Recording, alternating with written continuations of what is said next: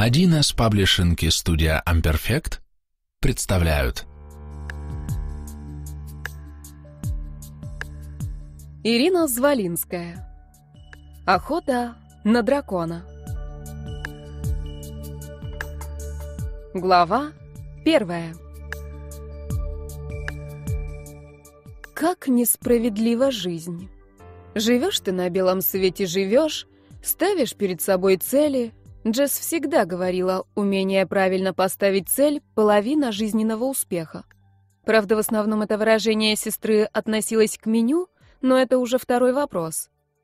Так вот, ставишь цель, тратишь свое свободное время, а его не так и много на учебники, учишься.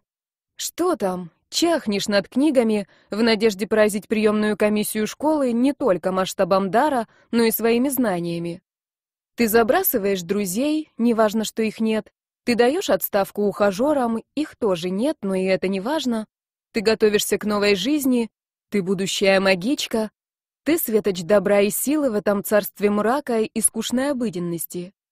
И в день вступительного экзамена, в самый счастливый день твоей жизни, выясняется страшное «нет у тебя никакого дара».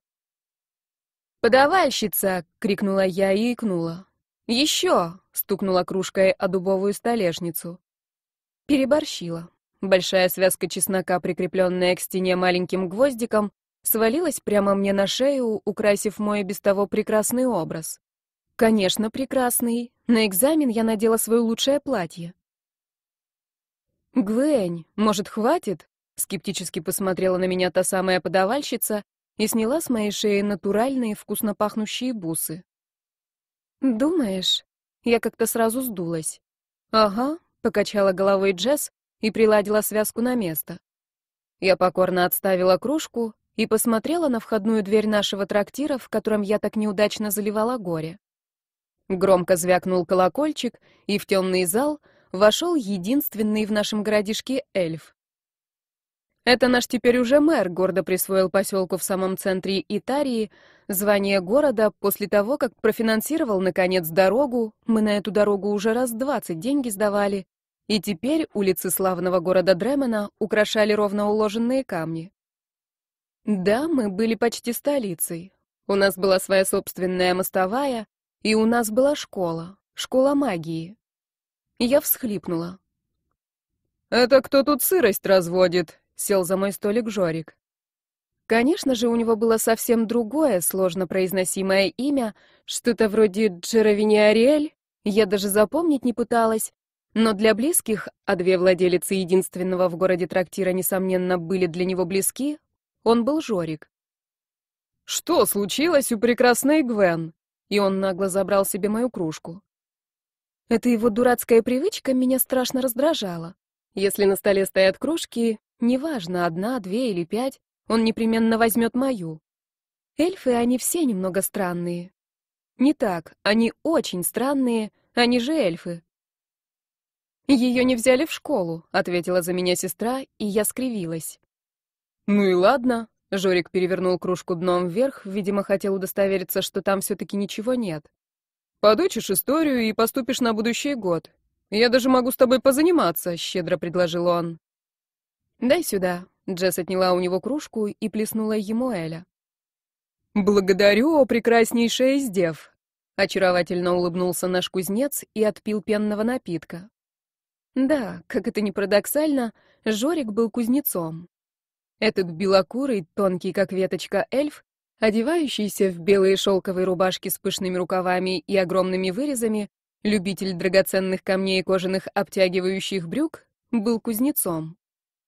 Экстравагантный представитель закрытого народа путешествовал по Итарии и решил сесть в Дремене. Чем его привлекла наша деревня, никому не известно, а на наши вопросы эльф загадочно отмалчивался или шутил, что всю свою долгую жизнь мечтал стать кузнецом. А появился он у нас не так и давно, почти сразу после моего шестнадцатилетия, то есть три года назад. Не возьмут меня в школу, даже если я выучу всю историю Итарии и Пресветлого леса вместе взятых. Гаркнула я так, что остальные посетители на меня обернулись. Было их немного. Два гнома, наш с сестрой трактир, располагался напротив банка, и служащие Герхард и сыновья были у нас частыми гостями. Помимо них, сидели у нас сын мэра, препротивный тип, давно уже сватается к Джесс, но я протестую, парочка работяг и какая-то неизвестная мне девица в ярко-зеленом платье. Дриада? Кто ее знает? Эти плутовки любят изобразить из себя обычных женщин. Есть у них хитрый способ заполучить в свои владения нового лесника. Заманивают какого-нибудь несведущего мужчину в лес, одаривают неземными ласками, а потом все. Вот ты уже и обладатель собственного леска, и вынужден следить за молодыми деревцами, охраняя их от посягательств людей и зверей. Ты же вроде как отец. И ведь верят. Верят, что у мужика деревцо народилось. Чудны дела твои, великий.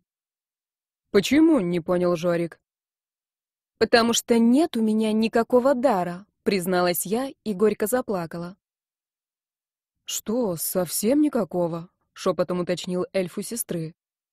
«Никакого», — подтвердила она. «А такое вообще бывает?» — сыпал он мне соль на рану. «Я имею в виду, разве такое бывает, чтобы у одной сестры дар был, а у другой не было?» «Не бывает», — всхлипнула я. «Так, может, ты приемная?» — не весь чему обрадовался Жорик.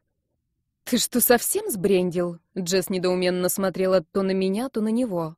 «Мы же на одно лицо!» «Ну, Гвиневра-то рыжая!» — привел он новый аргумент.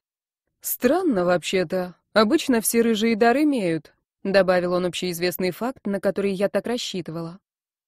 «Рыжая», — утвердительно сказала Джесс и погладила меня по голове. «И к источнику ходила?» — продолжил Жорик мучить меня своими вопросами. Кивнула. «И воду пила?» «Три кружки», — ответила я и покраснела. Мне было очень стыдно. Все рыжие ведьмы по определению, и все рыжие ведьмы обязаны по определению быть наглыми, смешливыми и одаренными. И вот сегодня я этот постулат и опровергла, и подтвердила одновременно. Не была я ни наглой, ни смешливой. Разве что в собственных мечтах, где, как уже говорила, я становилась непобедимой магичкой.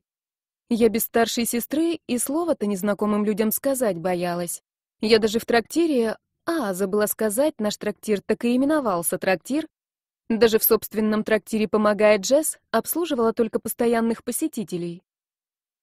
И вот сегодня утром на торжественном принятии дара, в самый упоительный для молодого мага момент, когда вода из источника впервые касается твоих иссушенных губ, когда, по словам сестры, все тело будто начинает петь, эту фразу она из романа «Любовь и месть» взяла, когда ты чувствуешь, что способен управлять мирозданием, я поняла, что, кажется, совершенно ни на что не способна. И чтобы в этом окончательно удостовериться, я просто обязана была проверить, Ян на перерез, невзирая ни на какие заслоны, а, надо сказать, он был огорожен, бросилась к источнику. Кажется, я оттолкнула старого директора школы. И тут я увидела подробности, которые все это время пыталась забыть.